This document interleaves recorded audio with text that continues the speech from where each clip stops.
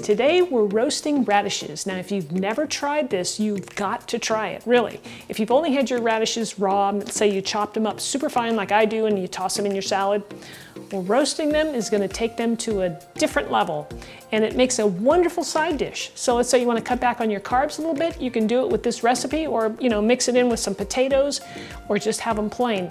They're very similar to roasted potatoes. You're gonna love the flavor. They're crispy on the outside and they're nice and tender on the inside.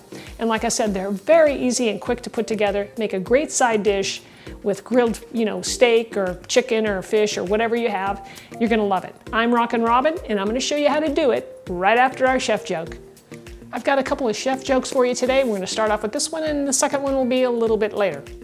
What do you call something that's a little bit rad, but not too rad? Radish. Now, if you're wondering why I started telling chef jokes, because it hasn't been that long, stay tuned and I'll tell you at the end of the video. So here are our radishes. They are organic, as you can see.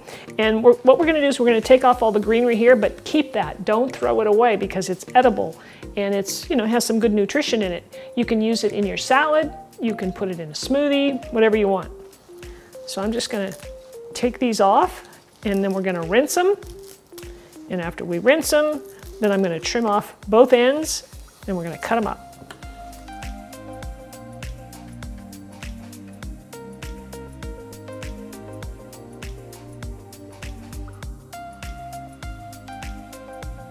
We're gonna cook these on a baking sheet lined with parchment paper. You wanna preheat your oven to 425 degrees. And we wanna take our radishes, place them on here, and you want them to be in a single layer. You want every one to touch the bottom of the pan. Now to season these up, you can use pretty much any spices that you like. If you have favorites, go ahead and use them. But you want to start with some olive oil. So I'm going to drizzle a little olive oil over the top here. Not too much, just enough to coat them. And I'm going to be using, I got my little collection here of some parsley, dried parsley, dried basil, some garlic powder, some pepper, and some salt. But you could use anything you like, you know, smoked paprika comes to mind, chili powder, I mean, just pretty much anything you want to do.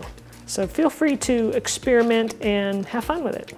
So I like to just rub, you know, coat these and just rub them uh, completely with the oil on all sides. And then we'll start adding the spices. Here's some salt, some pepper, garlic powder, and if you want to use fresh garlic, you can do that as well. Here's some dried basil.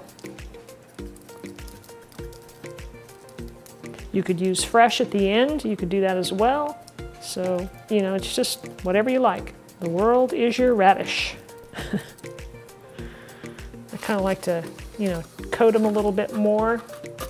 Just toss them in all the spices.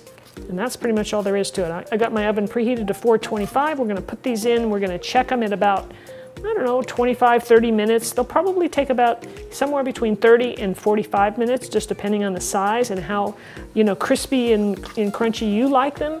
So let's put these in the oven. So the radishes are cooking away. I'm gonna turn them over at about 15 minutes or so, halfway through the cooking time, just to kind of, you know, get them to brown up all over. And now it's time for chef joke number two. What do you call a horse that's mildly cool? Horseradish. Our radishes, roasted radishes, are done. And I cooked mine for about 40 minutes. I like to get a real nice crispy edge on them. You might not like that so much, so you could take them out at 30, but man, I tell you, that crispy edge, these are dynamite. I wished I'd have made more now, but I didn't. So I'm gonna serve these up, and I've chopped up a little bit of fresh parsley, put a little bit of fresh parsley on there, look at that, it's beautiful. And then I'm gonna taste one of these and I'll let you know what I, what I think. Mmm. They're nice and juicy on the inside. They're crispier on the outside, which is nice. You get that caramelization, sweetens them up. There is no peppery bite to these now. I mean, it's very mild. You're gonna love these. These are make a great side dish. Mm. Please try these. Let me know down in the comments what you think. And if you like this video, smash the old like button for me. Okay, so here's why I started telling these silly little chef jokes. So back in 2019, January, my father passed away.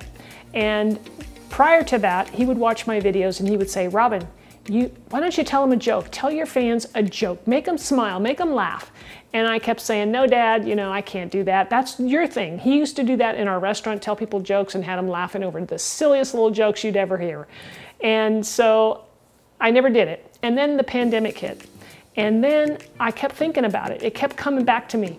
And so I decided, okay, I'm just going to do it. So I started doing it in his honor and you know everybody well most people seem to enjoy it. So that's why I do it. If I can just make you smile just a little bit well I think I've done my job.